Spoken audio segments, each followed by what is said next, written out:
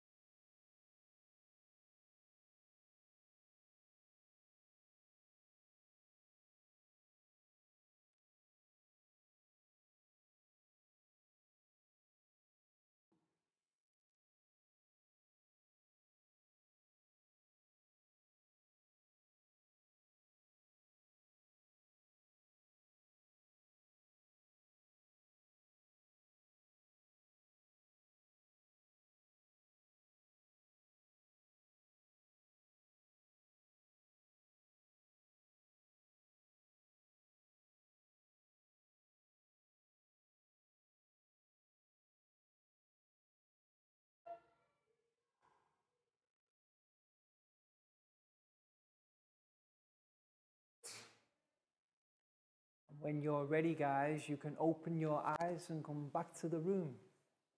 Excellent. Next, we'll do our stretch sequence. So let's stand up and push in our chairs. And we can begin by stretching up high to the sky. High as we can. And then let's go down low, touch our toes.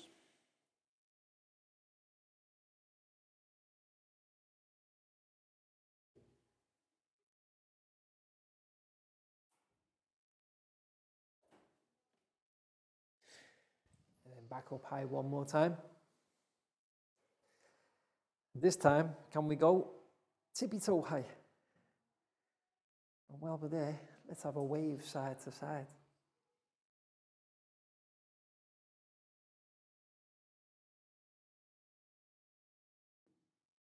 Excellent, guys. And then back down to touch your toes once more.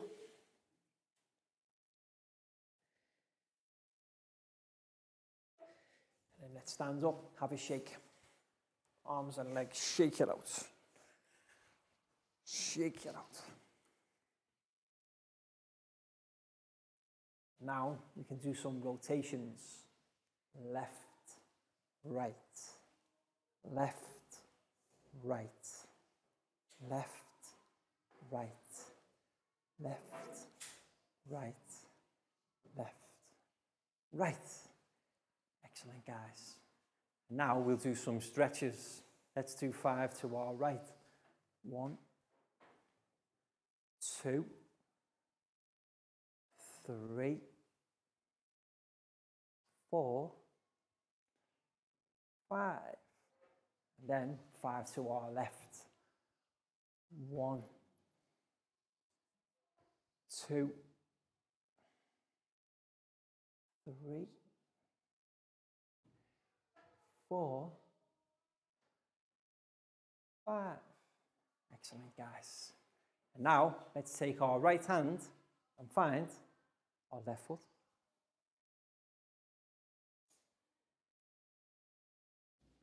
And then we'll take our left hand and find our right foot.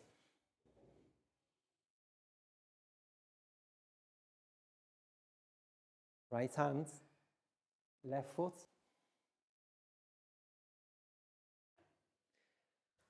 Left hand, right foot.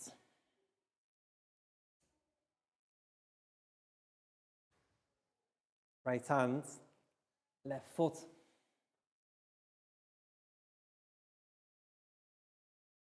Left hand, right foot.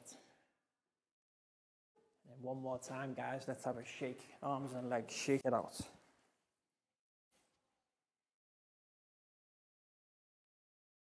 And to finish, we will do five claps. One, two, three, four, five. Brilliant, guys. Have a seat. So, welcome to today's math lesson. And who can remember what we began learning about in the previous math lesson? What type of charts? Bar charts. Remember, we learned about different types of charts, but the one that we concentrated on were bar charts. So let's write that word on the board first. Bar, B, A, R. And charts, H, A, R, T, S. So all together, guys, bar charts. And in our previous lesson, our students learned how to read bar charts correctly to answer questions by getting the information that they need. So as a recap to the previous lesson, I'm going to create a bar chart on the board. And then, with the information that I present, I will ask questions for some of my students to answer. So remember, each bar chart needs a series of different pieces of information. The first thing it needs, title. Okay? So the first thing our bar chart always needs is a title. And the title of my bar chart will be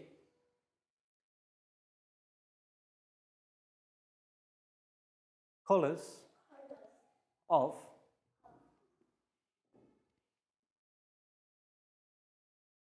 cars. Okay, so I'm going to do a bar chart about the colours of cars. Now, who can remember what is the name of the line that goes up on the bar chart? Vertical axes. Vertical axes. The vertical line is the vertical axes. Now, what we need for our vertical axes is it needs a scale. And this time it won't be about people because we're looking at cars. So we're going to have a scale. Number of cars is correct. And then this is the title. And for our scale, what will be the bottom of our scale? Always start with zero. And then we'll go two, four, six, eight, ten. And we know that everything in between is half of that. So for example, here will be one. Here will be three. Okay, so we're doing well so far, guys. We've got our title, our vertical axes, vertical axes label, and vertical axes scale. But what's next? What type of axes? We need our horizontal axes. Okay, now our bar chart is colours of cars. If the horizontal, if the vertical axis is about cars, our horizontal axes will be colours. Okay, so who can give me some different colours for our categories? Okay, blue and red. so we've got blue. Let's get five different colours. Red, white, yellow,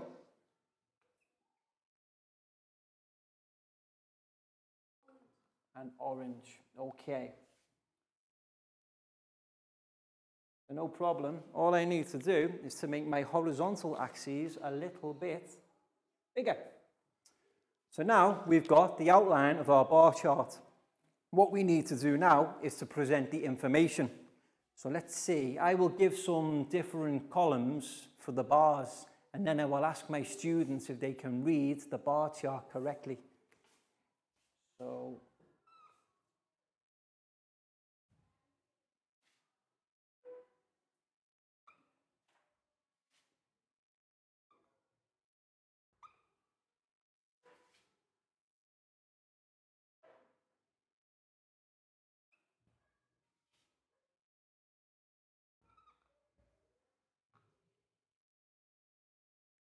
Okay, so now we've got how many different bars?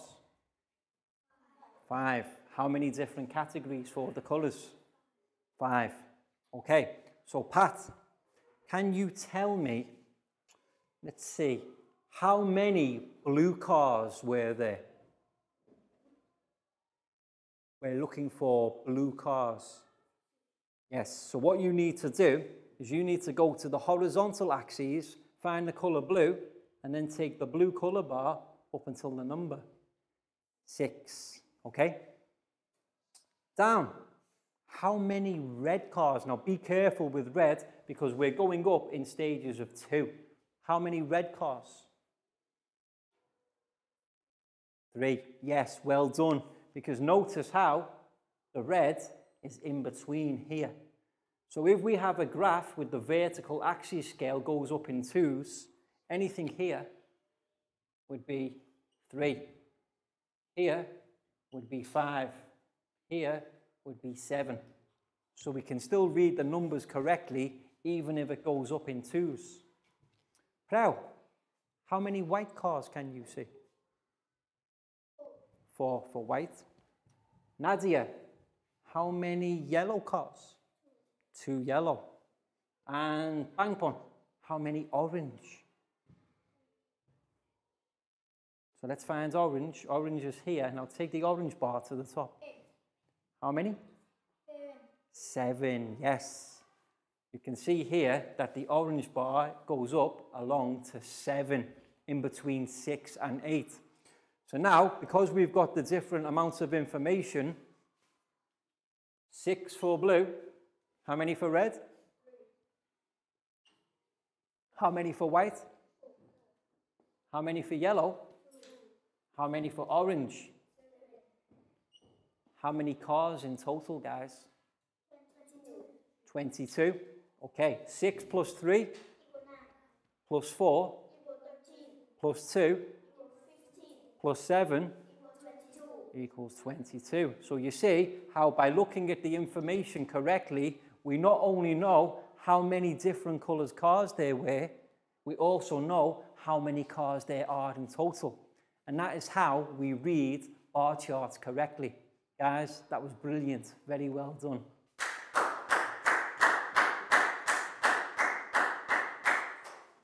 And what we're doing in today's lesson is we're staying with bar charts, but what we want our students to do today is to create their own bar charts by using the information they are given to design a bar chart similar to the ones we've been doing on the board. And what we've got now is a PowerPoint presentation for our students to observe, listen to, and also practice speaking about drawing bar charts correctly. So let's all turn to have a look at the TV screen, please, guys. So let's take a look at our PowerPoint presentation today, drawing bar charts. Yes, and here in the picture you can see an example of a bar chart. How many different bars, guys? Six, yes.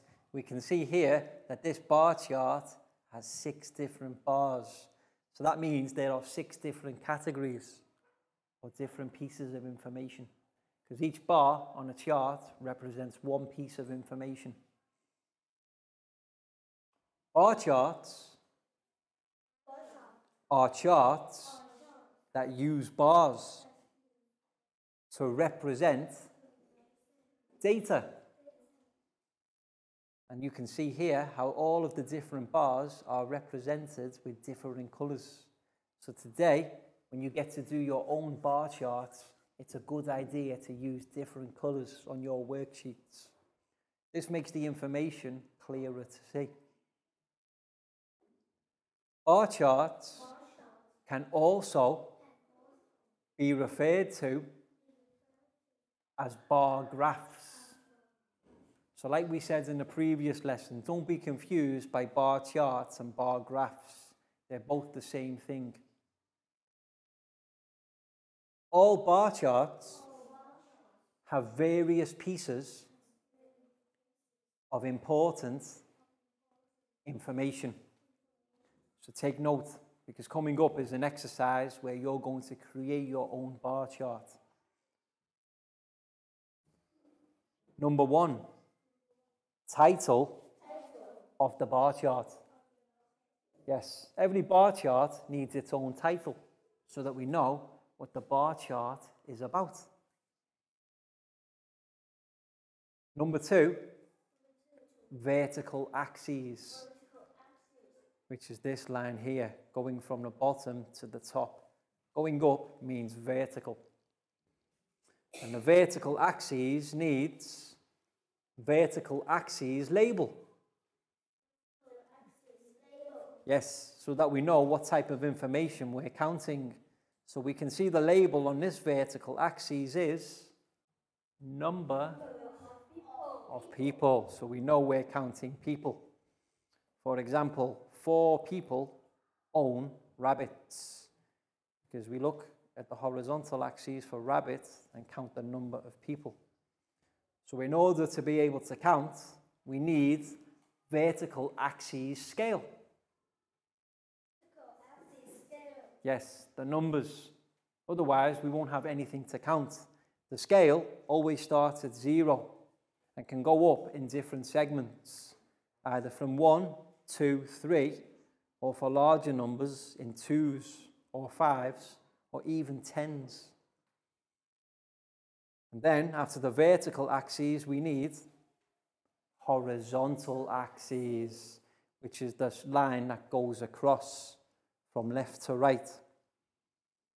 And so that we know what type of information we're counting in the horizontal axes, we need horizontal axes label. Yes, and because we know the title of our bar chart here, what kinds of pets do you own? We know that we're talking about different pets. Rabbit, dog, cat, goldfish, and hamster. They're the labels on the horizontal axes. So, here we have a bar chart. Who can tell me what is the title of the bar chart? Fruit sales. Okay, so we're looking at the amounts of fruits that have been sold. Here we have our, horizontal, our vertical axes. The label is sales. Now look at how the scale. What's the bottom number on the scale? Zero. Zero. But then we're talking quite large numbers. So the scale goes up every 10. 10, 20, 30, 40, 50, 60. Yes. And because we know the title of our bar chart is about fruit, therefore, the categories on the horizontal axes are the different types of fruit. What is the red bar? Apples. Yellow bar? Bananas. Purple bar? Grapes. Orange bar? Oranges. So orange is the colour, orange is the fruit. And the green bar? Pears. Okay. So who can tell me how many apples were sold? 40. Yes. You see, we go to the apples, go all the way up to the top of the bar, and then see what the total is 40. How many, now be careful because look closely, how many bananas were sold? Not maybe 59 or 58. Yes, the important thing to notice, it's just under 60. So 58 or 59. How about grapes? 30. Oranges? 50. And pears? Maybe 28. Yes, just under 30 again. When you're using your worksheet, it's a good idea to use a ruler. And you can use a ruler to line across so you can get the exact number. But here, we're only demonstrating. And that is how we read and draw our own bar charts. Any questions, guys? No. That was excellent. Well done. Welcome back to class. We hope your students enjoyed the PowerPoint presentation about bar charts. And coming up, we've got an exercise for our students to practice creating their own bar charts by drawing one on the whiteboard together. But before then, guys, it's time for our stretch sequence. So let's stand up and push in our chairs. And for this sequence, we can have a game of teacher says. So listen carefully. If teacher says, we can do. If teacher doesn't say, don't do. Okay? So hands on head. Teacher says, hands on hips. Hands on shoulders. Teacher says, touch your knees. Teacher says, wiggle your knees. Stop. Teacher says, stand up straight. Teacher says, turn around. Teacher says, hands on shoulders. Teacher says, hands by your sides. Back the other way. Excellent, guys. Well listened. Teacher says, jogging on the spot. Teacher says, arms in the air. Teacher says, forwards and backwards.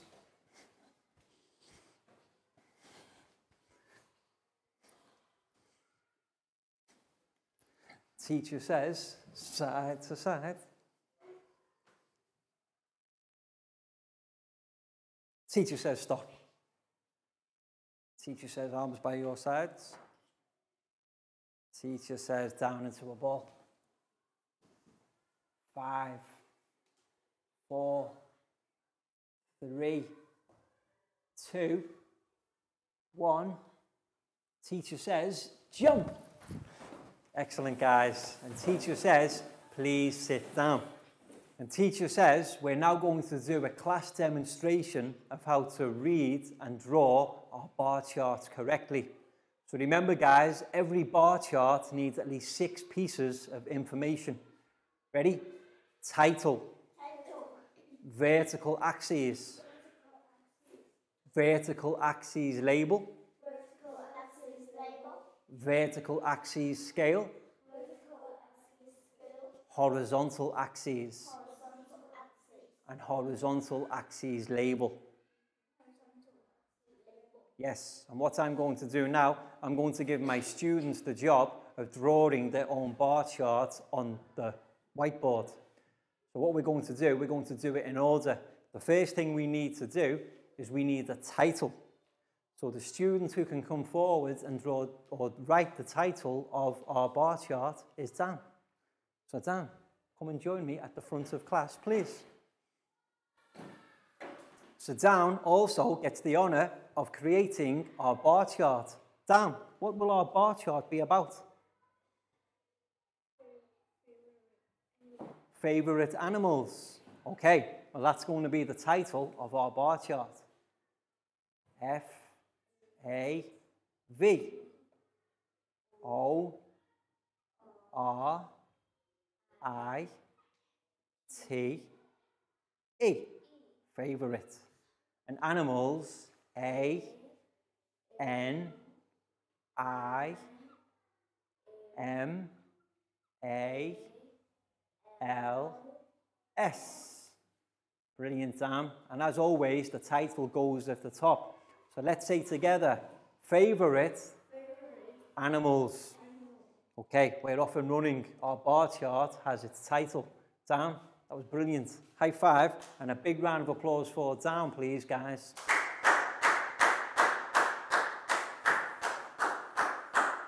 So that's step one to creating our bar chart. We have a title. But who can remember what step number two was? And let's see who can come forward and create step number two. Hang on. What's the next thing that we need on our bar chart? What do we call the line that goes from the bottom to the top? Any, anyone remember? Vertical axes. So Pangpon, can we have a line that starts about here and then goes to here? Or you can do it going down. Excellent. Okay, so we've got a vertical line on our bar chart. but as it's referred to, is a vertical axis. All together, guys. Vertical axes. Excellent, Pangpon. Very well done. So Pangpon has created our vertical axis. Big round of applause. Who can remember? Now that we have our vertical axes, what do we need next? Our vertical axes need some more things. Our vertical axes needs a label. So let's see who can come forward and create our vertical axes label. Let go. Come and join me at the front of class. So now Lakgao can demonstrate how to do a vertical axes label. So what is our bar chart about, guys? Animals. So the vertical axis label will be number of animals. N U M B E R. Number of O F. And animals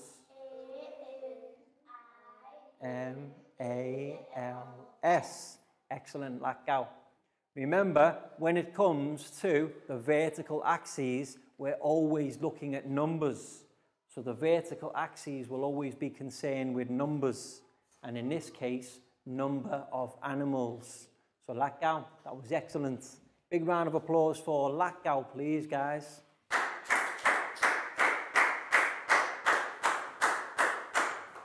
Okay, now we're nearly finished on the vertical axes. But if we're talking about numbers, what does a vertical axis also need? Sk Scale. Yes, we need to know what numbers we're talking about. So Pak Bung, can you come forward and give our vertical axes a scale? And can we go from 0 to 10?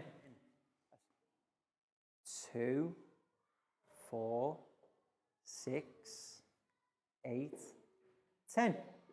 Excellent, Pak Bung. So you see, Pak Bung has designed our scale going from 0 and going up in twos. So what that means, we already know that anything in between 1, 3, how about here? Between five, seven, nine. Okay, so Pak Bung has correctly demonstrated how to create our vertical axis scale. Pak Bung, that was brilliant. High five and a big round of applause for Pak Bung, please, guys.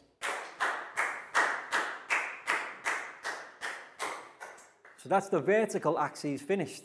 But now we need the next line going across. Who can remember what we call the next line going across? It's an axis, but what type? Horizontal axes. So Net, can you demonstrate how to draw a horizontal axis, which is basically a horizontal line going across the bottom of the graph or chart? do it to about here for me. Excellent. So you see now, net has demonstrated a horizontal line, which represents our horizontal axes. Net, very well done. Big round of applause for net, please, guys.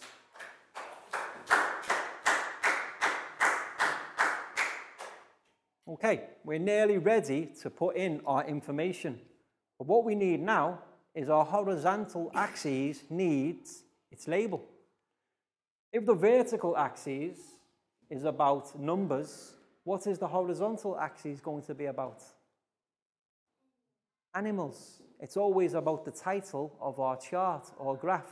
So now I would like Nadia to come forward and write up some different animals for us. So Nadia, here's your pen. And let's see, can we have four different categories?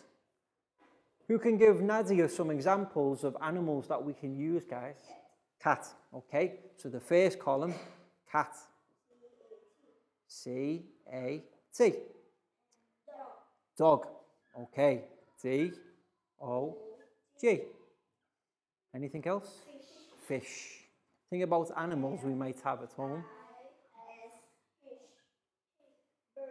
And then birds, we'll have another category. V-I-R-D. Excellent. So now we've got our horizontal axes and we've got our horizontal axes label. Cat, dog, fish, bird. So when it comes to finding out our favourite animals, there are four to choose from. Nadia, that was brilliant. High five and a big round of applause for Nadia, please, guys.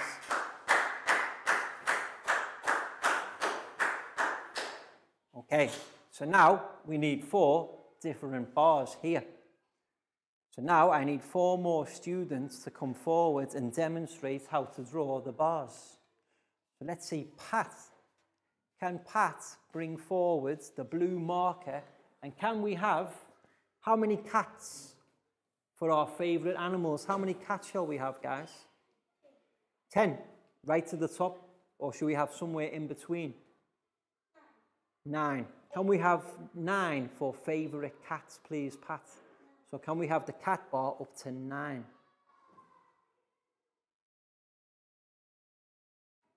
And then across. That's brilliant. You see, what Pat's done is he has took the cat category and he took the bar all the way up to nine.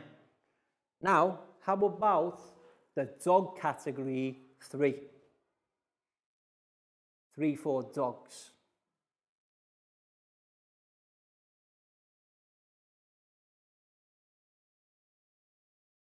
Brilliant, Pat. That's excellent. Now, how many for fish shall we have? Seven. Okay. Pat, can we have seven for fish? Yes. So fish up to seven. Across and then down. And finally, the bird category. How many shall we have for birds? Five. Five. Okay. Can we have five for birds? Be careful. Five. Okay. And down. Excellent. Okay. So now we've got our four bars for our different favourite animals. Pat, that was excellent. High five and a big round of applause for Pat, please, guys.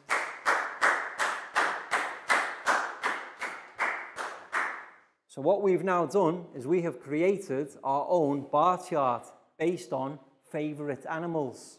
So now let's read the information. How many people think that cat is their favourite animals? Nine. How many people think that dog is their favourite animals? Three. How many think that fish is their favorite animal? Seven. And how many think that bird is their favorite animal? Five. So, what's the most popular animal, guys? Cat. How many? Yes. And which is the least favorite animal? Dog. So, how many animals in total? 9 plus 3, 12 plus 7, 19 plus 5 equals 24. So we know that our graph is about 24 animals and these are the different results. And guys, that's how we draw our own bar charts. That was brilliant, well done. And now it's time for our worksheet activity where we want our students to build on the information that they have learned and create their own bar graph according to the information in the table. So remember guys, each bar graph will need exactly the same things that you have here, but you already have your vertical and horizontal axes. What our students need to do is extract the information from the table to complete the different bars with the different information. So give our students around 12 minutes for this activity and just help them with anything they need. So Pangpon, this one's for you. You're welcome. Go for you. Plow for you. You're welcome. Down for you. You're welcome. Two for you. You're welcome. Nadia, here's yours. You're welcome. Pat for you. You're welcome. Pat Bung for you. You're welcome. And you're welcome. So names on top first, guys, and then think about our bar charts. What's the first thing that every bar chart needs? Title. The title of this bar chart is Favorite Animals. So look at the information and find out what the title of your bar chart should be. So the title, Who is absent from class? So you can complete the title, Who is absent? A little bit, looks like. So first thing is your title. Who is absent from class?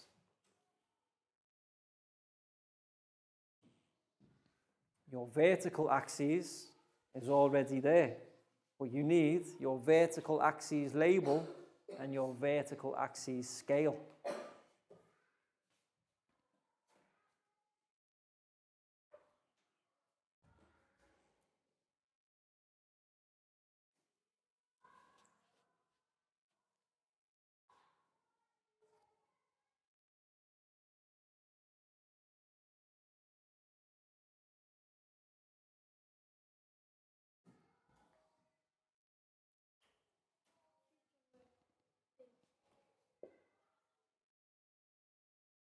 So this bar graph is about who is absent from class.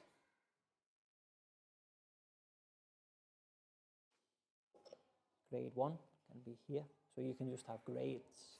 So the title of your horizontal is grades, and then you can have grade 1, grade 2, grade 3, grade 4, grade 5. No, what you need to do, guys, is read the information to create the information is already there. You need to use the information in the table to create your own bar graphs or bar charts. The title, Who is Absent from Class? And then you have the different grades with the different numbers of students.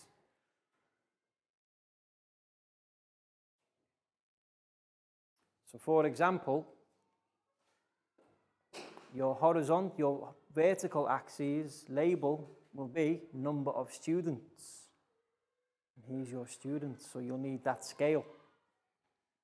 For this exercise, the information is on the worksheet. You need to draw your bar graph or bar chart to suit.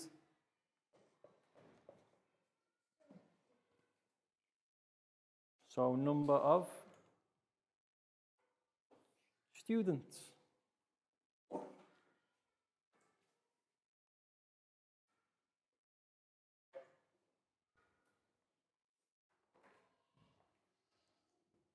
So we've got five different grades. So what's the most amount of students absent? 18. So it will need to go up to 18. So we can go 0, 2, 4, 6, 8, 10, 12, 14, 16, 18, 20.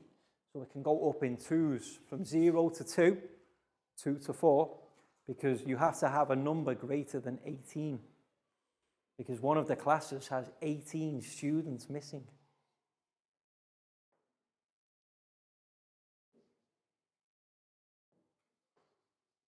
That's right, so next one will be two. So this has to go up in twos, because if we do win ones, it won't be enough. Yes, excellent, Pro. Because grade three has 18 students missing.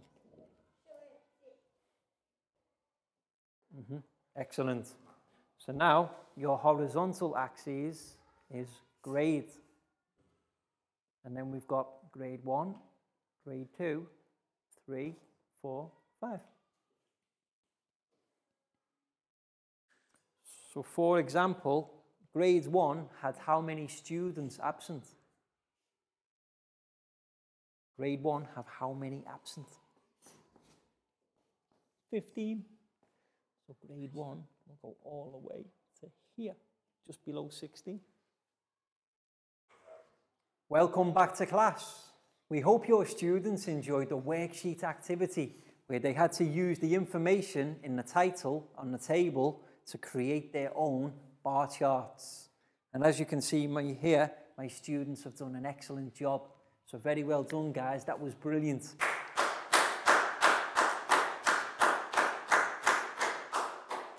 And that's all we've got time for today. So we hope you've enjoyed the lesson and particularly the part where we had to create our own bar charts on the whiteboard exercise and also the worksheet exercise. And we'll see you again soon for the next lesson. So can we turn to wave and say goodbye, guys? Bye-bye. See you again soon.